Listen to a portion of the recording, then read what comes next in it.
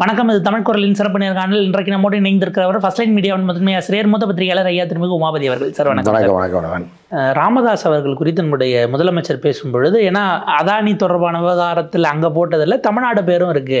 அதனால வெள்ளை அறிக்கை விடணும் போது முதலமைச்சர் அவர் வேலை இல்லாமல் அறிக்கை விட்டுக்கிட்டு இருப்பார் அதுக்கெல்லாம் பதில் சொல்லணும் அப்படின்னது இப்போ பாமக கொதிச்சிருக்கு.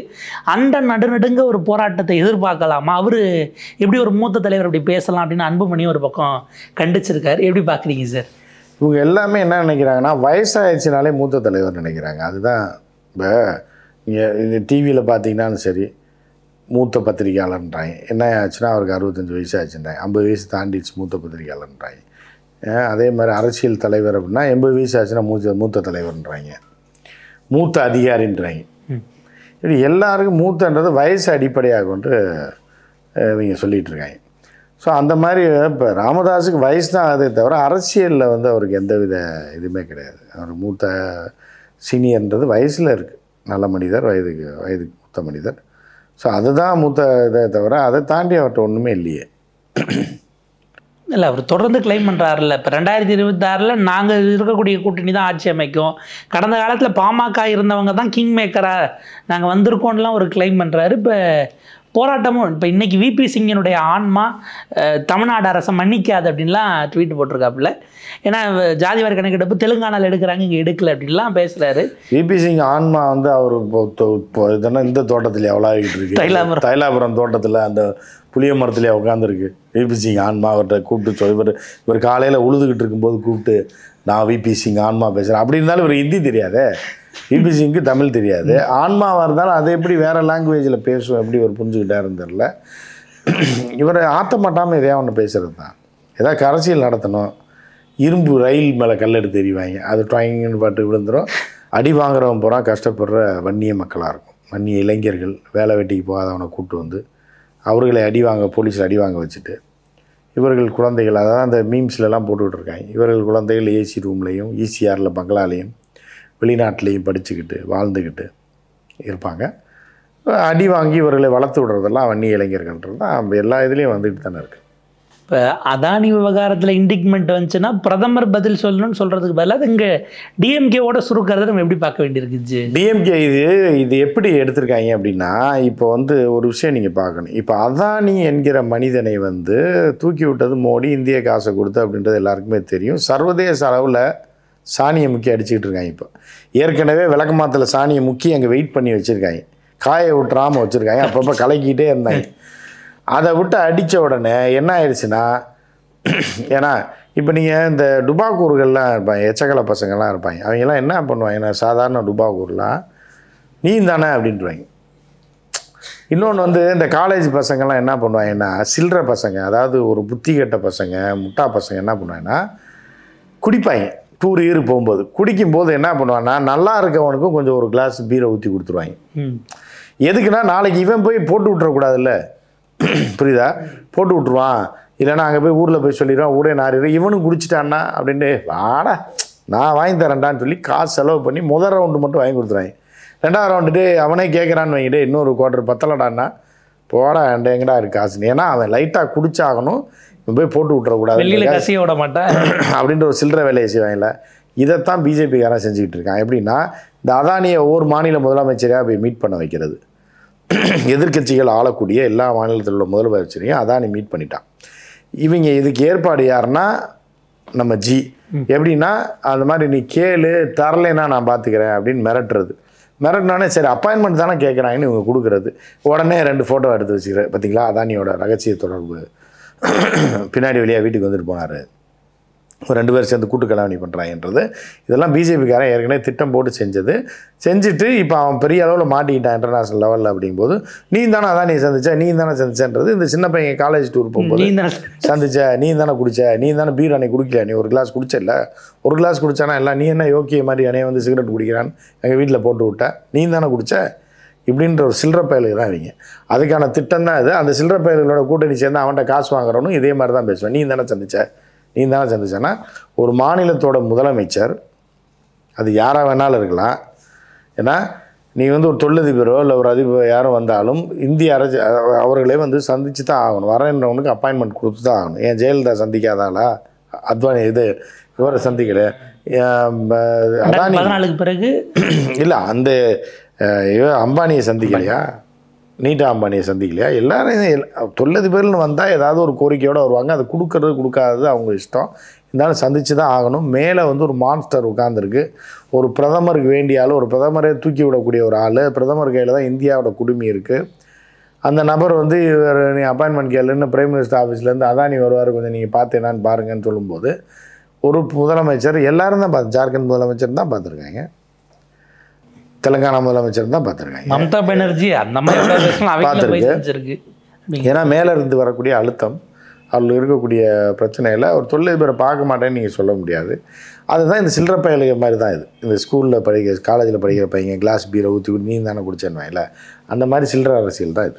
ஏன்னா இப்படி பேசலாமான்னு அண்ணாமலை லண்டன்ல இருந்து அறிக்கை விடுறாப்புல. தமிழிசை எல்லாம் கூட்டுக்கால வேண்டியதானேங்க. அவங்க தானே முதல்ல செய்யறது. நீங்கள் போய் பார்த்துருங்க தலைவா. அதானி பக்கம் திருப்பிடாதீங்க. ஸ்டாலின் இதுக்குள்ள வச்சு இது பண்ணிக்கிட்டு இருக்க.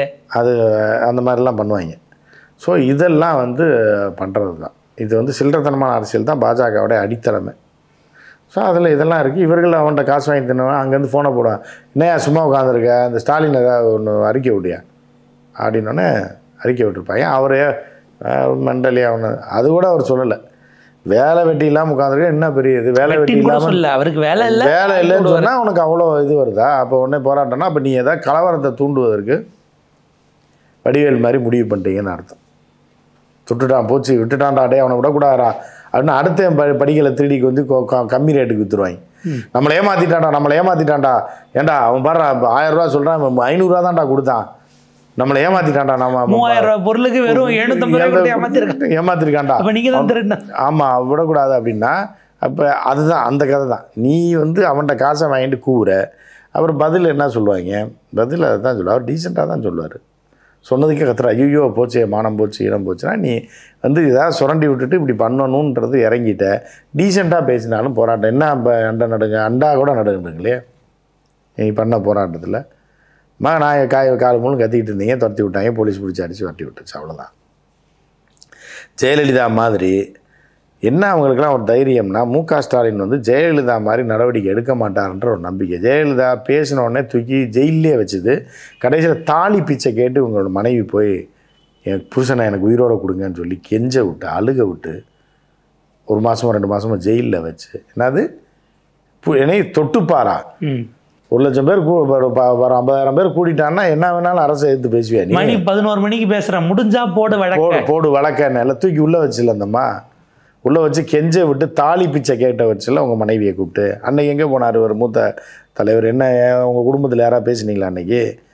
அது மாதிரி ஸ்டாலின் செய்யாதது ஸ்டாலின் அவர்களுடைய ஒரு வீக்னஸ் புரியுதா உங்களுக்கு? ஏதாவது சொன்ன உடனே தூக்கி உள்ளே வச்சுருக்கணும். புரியுதா உங்களுக்கு? வச்சுருந்தா இந்த மாதிரி வார்த்தையெல்லாம் வராது. அவர் எல்லாத்தையும் போ போனால் போட்டும் போனால் போட்டும்னு விட்டு வைக்கிறதுனால தான் இந்த பிரச்சனை. இனி அடுத்து அதை செய்ய நிர்பந்திப்பார்கள். இனி வருங்காலத்தில் திமுக அதை செய்யும் நம்ம எதிர்பார்க்கலாம். என்ன இப்ப இதுக்கு எடப்பாடி பழனிசாமி ஒரு ஆதரவு நீட்டி இருக்கலாம்ல? என்ன கூட்டணி விட்டு வெளியே போனவங்க. அப்படி இல்லை வெளியே போயிட்டார்ல வாங்கின காசை. ஏங்க அதெல்லாம் இப்போ இப்போ இப்போ பிடிச்சி உள்ளே போட்டால் எட முதல்ல சந்த சந்தோஷப்படக்கூடிய ஒரு எடப்பாடியாக தாங்க இருக்கும். ஐயோ. ஏன்னா அவரால் ஒன்றும் செய்ய முடியல. ஏற்கனவே கொடுத்த காசை வாங்கிட்டு அடுத்த எலெக்ஷனில் கழிச்சுக்கிருவோன்னு சொன்னவங்கள எப்படிங்க? அவர் இறக்கம் பார்ப்பார் எடப்பாடி. காசை வாங்கிட்டு கூட்டணி செயல நைட் ஒரு நைட்டாக போய் மோடியை பார்த்து பெரிய அமௌண்ட்டை வாங்கின உடனே எப்படி மனசு புண்பட்டுருக்கும் அன்புமணிக்கு ராஜ்யசபா சீட்லாம் கொடுத்து கொடுத்து எல்லாமே பண்ணியும் கடைசியில் போய் மோடி கூட போய் சேர்ந்து காசை வாங்கிட்டு சேர்ந்தா அந்த நெஞ்சமெல்லாம் புண்ணா போயிருக்காது. முந்தின நாள் நைட் இவங்க கிட்ட பேசிட்டு காலையில அண்ணாமலையோட சேலத்துக்கு சேலத்துக்கு. போய் விவரம். பார்க்கறது மோடியை- எவ்வளோ மனசு புண்பட்டிருக்கும்? அப்போ அவரெல்லாம் வந்து புல்ல பிடிச்சி எப்படா போடுவாங்கன்றது தான் எதிர்பார்த்துருப்பாப்புல எடப்பாடி கூட. அப்பாவை போடலைன்னா மகனாலும் பிடிச்சி உள்ளே போடுங்க. என்னையா இவ்வளோ அமைதியாக இருக்கீங்க அரசியலில் அப்படின்ற மாதிரி அவர் நினச்சிருப்பாங்க. எடப்பாடிலாம் இது பண்ண மாட்டார். ஜீரணிக்க முடியாது அவரால் கஷ்டப்பட்டு சம்பாரிச்ச காசுங்க. அஞ்சு நாலு வருஷம் ஆட்சியிலேருந்து தவழ்ந்து போய் விழுந்து அடித்து ஆட்சி எப்படிக்கணும் அவ்வளோ சாதாரண விஷயமா? அப்புறம் ஒருத்தர்கிட்ட பெர்சன்டேஜ் வாங்கணும் அந்த கேஸை கொண்டு போய் மறைமுகமாக வைக்கணும். அப்படி வச்சு இந்த கஷ்டப்பட்டு சம்பாதிச்ச காசை மொத்தமாக வாயில் போடுறதுன்னா எப்படி?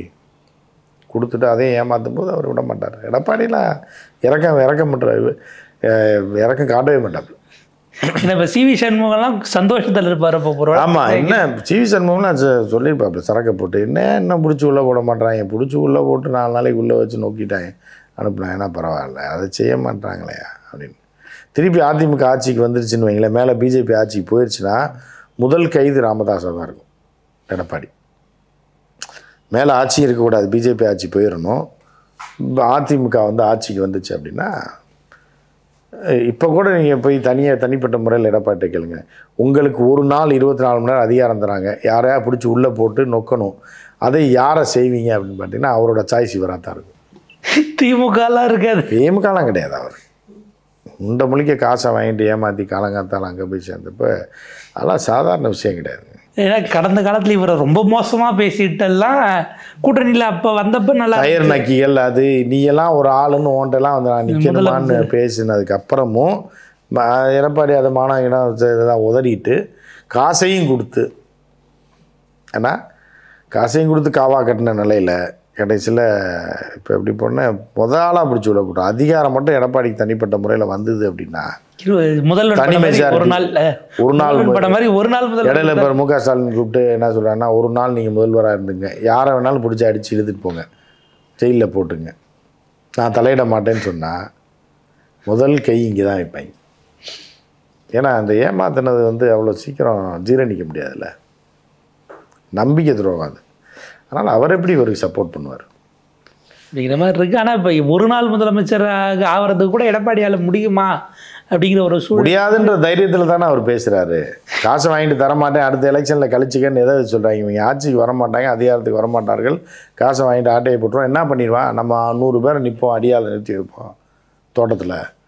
திருப்பி வந்து காசை கேட்டு வந்துடுவாங்களா வா பார்த்துக்கலாம் ஏற்கனவே சிவி சண்முகம் இது பண்ண பார்த்தாங்க எல்லாம். சொல்லியிருக்காருல்ல. சிவி சண்மனை கொலை முயற்சியில் நடந்துச்சு. அப்படி இருந்தும் வந்து அது இதாக இருக்குது இப்போ அதிமுக ஒரு பக்கம் அப்படின்னா அவங்க ரெண்டாயிரத்தி இருபத்தாறு நோக்கி ஏதாவது போவாங்கன்னு பார்த்தா போகிற இடமெல்லாம் மூத்த அமைச்சர்கள் முன்னாடிலாம் அடிதடியாக இருக்குது ஷூட் பண்ண வந்தவங்க ட்ரைபாடை தூக்கி அடிக்கிறாங்க. கேமரா கேமராலாம் கொண்டு போனவங்க பாவங்கிற மாதிரி இருக்குது இப்போ இது எந்த லெவலுக்கு அடுத்து வெடிச்சு போகிறோம் அன்றைக்கி செல்லூர் ராஜுவெல்லாம் கெஞ்சாத குறையாக கேட்கலாது இதை கடைசியாக பார்த்து எஸ்பி வேலுமணி ஒரு முடிவு எடுத்து பத்திரிகாரங்களை உள்ளே விடாதீங்கன்னு வெளியில் அனுப்பிட்டு உள்ளே பூட்டிட்டு அடிச்சிக்கிங்கிற லெவலுக்கு வந்துருச்சு. இது என்ன காரணம்? சண்டை போடுறோம் நம்ம வீட்டுக்குள்ளே சண்டை போடுங்க வெளியில் போய் கண்ட வந்துட்டு அடி வாங்காதேன்றது தான். அது வந்து என்னென்னா ஒரு தலைவன் வந்து தகுதிக்குரிய தலைவன். அன்றைக்கி என்ன சொல்லியிருக்காங்கன்னா சண்டை எப்படி வந்திருக்குன்னா ஒரு கட்சியில் மூத்த ஒரு மாவட்ட பொறுப்பில் இருக்க ஒரு ஆள் சொல்லியிருக்காரு. இங்கே பாரு நீ ரொம்ப ஓவராக போயிட்டுருக்க நான் வந்து தலைவர் எடப்பாடிகிட்ட சொல்லுவேன் இருக்காரு ஏ அவன் என்ன பெரிய மயிரா போடா போய் என்னமோ பெரிய தலைவன்ற. ரெண்டு பேரையும் சேர்த்தே அடித்து துரத்தி விட்டுருவோன்ட்டு இருக்காங்க அப்போ யார்கிட்ட போய் அடுத்து சொல்லுவீங்க நீங்கள் இப்போ ஜெயலலிதா இருக்கும்போது அப்படி சொல்ல முடியுமா? இவ்வாறு அம்மாட்ட போய் சொல்லிடுவேன்னாலே நடுங்கிடுவாங்க அதே மாதிரி திமுக ஆடுதுன்னா தலைவர் ஸ்டாலின்கிட்ட சொல்லிடுவோம் நீங்கள் பார்த்தீங்கன்னா பயப்படுவாங்க. ஆனால் இதில் தலைவனே இல்லையே. இவங்க போய் எடப்பாடிகிட்ட சொல்கிறேன்னு போய் எடப்பாடி அசிங்க அசிங்கமாக அவங்க பேசி தான் ரெண்டு பேரும் சண்டை வந்திருக்கு புரியுதா? எஸ்பி வேலுமணி போன கூட்டத்துல சண்டை செல்லூர் ராஜுவால கட்டு- செல்லுராஜுவே கட்டுப்படுத்த முடியலன்னா. மாமனிதன் திண்டுக்கல் சீனிவாசன்லாம் யதார்த்தமான மனிதர் அவர் வந்து எதையாவது கட்டுவையோ உட்காரியா ஏன் போட்டு சண்டை போடுறீங்கன்னு யதார்த்தமாக பேசக்கூடிய திண்டுக்கல் சீனிவாசன்லாம். யதார்த்தமான மனிதர் பதார்த்தமாக பேசி நிறுத்திடுவார். அவர் முன்னாடியே சண்டை போட்டிருக்காங்க அப்படிங்கும்போது அங்கே தலைவனே இல்லை அவரே பல விஷயங்களை கேஷுவலா சொல்லலாம்னு வராரு. அதான். ஆனா அது அவருக்கு முன்னாடி பண்ண விட மாட்டாங்க. ஏன்னா தலைவன் இல்லை இல்லை. ஒரு மதிப்புக்குரிய ஒரு தலைவன் ஒரு அச்சத்துக்குரிய ஒரு தலைவன் இருந்தால் பயப்படுவாங்க. அது இல்லைங்கும்போது யார் தலைவனே தெரில. தலைவனே போடா நீ எங்களுக்கு தெரியாதா அப்படின்ற மாதிரி சொல்கிறாங்க அப்படி இருக்கும்போது அதில் தான் எடப்பாடி. நீ சண்டை போகிறேன்னு என்னையாண்டா அசிங்க அசிங்கமாக பேசுகிறீங்க ஒரு சேலத்துல இருக்கேன். இருக்கேன் நீங்கள் ஏன்டா நீங்கள் சண்டை போட வேண்டியதானே? அப்போ தான் நினச்சிப்பா அந்த அம்மையார் இருக்கும்போது நம்ம ஊரை தாண்டி வண்டி ஏறணுனாலே பயப்படுவோம். இன்னைக்கு நம்மளை இப்படி கழுவி ஊத்துறாங்களேன்ற மாதிரியான ஒரு சூழல் தான் அங்கே இருக்குது கடைசியில் இப்போ ரஜினி கிட்ட வீடியோ வாங்கினதெல்லாம் எம்ஜிஆர் ஓட்டு நமக்கு விழுமான்னு தெரியல ரஜினியை வச்சா ரஜினியை வச்சனால ஏதாவது ஓட்டு வாங்கிக்கலான்றது தான். அவர் ஜானகி அம்மையாரை போட்டா யாருக்கு ஓட்டு ஜானகி எம்மையார் உயிரோடு இருக்கும்போதே அரசியலை விட்டே போயிடுச்சு நமக்கு மரியாதை இல்லைன்னு. சிவாஜி கணேசன் முதற்கொண்டு டெபாசிட் கிடைக்கல. திருவையாறுல. போய் தோத்த ஒரு நிலையில் அந்த அம்மா அந்த அம்மாவுக்கு ஓட்டு போடல ஒன்றுமே கடைசியில் கட்சியை கலைச்சி எல்லாம் ஓடுங்கடான்னு துரத்தி விட்டு ரெட்டப்புறா சேவலையும் இணைச்சி விட்டுருச்சு. விட்டு ரெட்டலையை வச்சு அந்த அம்மா நல்லா இருக்கட்டும்னு. அதுக்கு இவங்க நூற்றாண்டு விழா கொண்டாடி என்ன பண்ண போகிறாங்கன்னு தெரியல. அதுக்கு அதுக்கு ரஜினி வாழ்த்து சொல்லி வாழ்த்து சொல்லி ரஜினியும் வாழ்த்து சொல்லியிருக்காப்ல பிரேமலதா ஒரு வாழ்த்து. அவங்க கோட்டெல்லாம் எடுத்து காட்டுறாங்க. இது வந்து கேப்டனுக்கு எம்ஜிஆர் அவர் போட்ட கோட்டை கொடுத்தாரு. இது அவர் கொடுத்த டை இது அவர் ஓட்டுன வேணுன்னு அதெல்லாம் இவருக்கு கொடுத்ததா? இது வீடியோ போட்டு அவர் கொடுத்ததுன்னு சொன்னால் யார் போய் கேட்க போறா? சீமான் மாதிரி தான் செத்தவங்களை வந்து சாட்சிக்கு இழுத்தீங்கன்னா யார்கிட்ட போய் எம்ஜிஆர்ட்ட போய் கேட்கவா முடியும்? இந்த கோட் உங்களுக்கு கொடுத்தாரா? கொடுத்தாரா அப்படின்னா அவர் சொல்ல இல்லை இல்லை. கொடுக்கல. அது நம்பியார் கோட்டு. அங்கே இதில் மேக்கப் ரூமில் தொங்க போட்டிருந்ததை தம்பி எடுத்து போட்டு போயிட்டாரு. எனக்கு அந்த கோட்டுக்கு சம்மந்தம் மூணு டையே வேற கொடுக்குறாங்க. இந்த டை அவருக்கு கொடுத்ததா. ஸ்டுடியோவில் வச்சுருப்பாங்க அந்த காலத்தில். நீங்கள் ஃபோட்டோ எடுக்க போனீங்கன்னா கிராமத்தில் விவசாயம் பண்ணிட்டு இருப்பான். ஏதாவது பாஸ்போர்ட் கிஸ்போர்ட் எடுக்க போவாங்க. எடுக்க போனோடனே அங்கேயே அவன் பவுடர்லாம் வச்சுருப்பான். இன்னைக்கு கிராமத்தில் ஸ்டுடியோவில் வச்சுருப்பான் சீப்பு பவுடரு கோட்டு முன்னாடி இந்த கட் அவுட் எல்லாம் ஹீரோ கட் அவுட் அந்த மாதிரியான அது வச்சிருப்பாங்க. பாஸ்போர்ட்டுக்கே கோட்டெல்லாம் வச்சிருப்பாங்க. கோட்டு டையெல்லாம் வச்சு அவனே மாட்டி விடுவான். மாட்டி பவுடர் அடிச்சுட்டு உட்காந்தவொடனே பார்த்தா வெள்ளைக்கார மாதிரி மாறிடுவான் கொஞ்ச நேரத்தில். ஸோ இந்த மாதிரி கூத்துகள்லாம் இருக்கு. அப்போ விஜயகாந்துக்கு ஏதாவது கோட் இருந்திருக்கும் எடுத்து போட்டிருப்பாரு. உடனே இந்த அம்மையார் கதை விடுது அவர் பிரச்சாரம் வேணும்னு நாங்க இந்த கோயம்பேட்டில் நிறுத்தி வச்சிருக்கோம்னு சைடுல ஒரு பழைய வேனை வேற காட்டி இதுதான். அது மெட்டடோர் வேன் பழைய வேன் ஷூட்டிங்க்கு வாங்கினது. அதை நிறுத்தி இருந்து பயன் எம்ஜிஆர் அது அதே இதில் நம்ம கேப்டனும் போய் பிரச்சாரம் பண்ணாருன்னு ஜானகி எம்ஜிஆருக்கு இந்த பொருளெல்லாம் அவங்க தான் எம்ஜிஆர் கிட்ட இருந்து வாங்கி கேப்டனுக்கு அன்பா அன்பளிப்பாக கொடுத்தாங்க பாசம் சொல்ல செத்ததுக்கப்புறம் எது வேணாலும் சொல்ல வேண்டியதானே நான் கூட சொல்லலாம். நம்ம கூட சொல்லலாம். நான் சின்ன பிள்ளையா இருக்கும்போது இந்த சோபா மேலே ஆசைப்பட்டு எம்ஜிஆர் தான் கொடுத்தாருன்னு. இப்போ யார்கிட்ட போய் நீங்கள் கேட்பீங்க ஆமான்னு நீங்களும் கேட்டு போக வேண்டியதான் ஸோ அந்த மாதிரி நம்ம சொல்லிக்கிட வேண்டியதான் பாப்போம் சார் ஏன்னா அதிமுகவில் எல்லாரும் ஒன்று ஒன்று பேசிக்கிட்டு இருக்காங்க. எது கட்சியினுடைய குரல்னே தெரியல. திடீர்னு பார்த்தா கல்யாண பத்திரிக்கை வைக்க போனேன்னா நயினார் நாகேந்திரனை போய் எஸ்பி வேலை பண்ணி சந்திச்சு நைட்டு டிஸ்கஸ் பண்ணியிருக்காங்க. இல்லை கட்சி பொதுச் செயலாளருக்கே பத்திரிக்கை வைக்கல. இன்னொரு கட்சிக்காரருக்கு ஏன் இவ்வளோ ஆர்வமாக வைக்க போகிறீங்க அப்படிங்கிற வகையில் பொதுக்குழு வேற அவர் டேட் அனௌன்ஸ் பண்ணியிருக்காரு. எடப்பாடி என்ன நடக்குது அப்படிங்கிறத நம்ம பொறுத்திருந்து பார்ப்போம். ரெண்டாயிரத்தி இருபத்தாறுக்கு இப்பயே ரெண்டாயிரத்தி இருபத்தாறில் ஏடிஎம்கே காலி.